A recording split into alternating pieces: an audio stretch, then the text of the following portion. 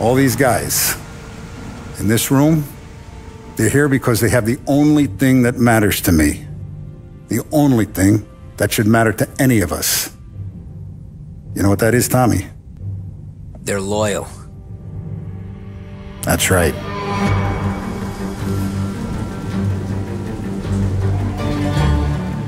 One day you're busting your back, doing an honest day's work in a city that's been trying to scrape you off its heels since the day you stepped off the boat. And the next you're stuffing your pockets full of Salieri's dirty money. Go get him, Tommy! Teach these boys a lesson. Break every bone in their bodies. You want me to become one of those Wall Street boys? Don't sass me, Tommy. I'm trying to teach you the ropes so you don't get strangled by them.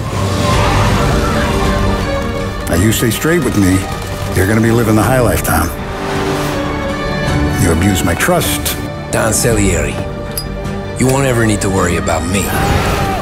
Okay, then. Welcome to the family.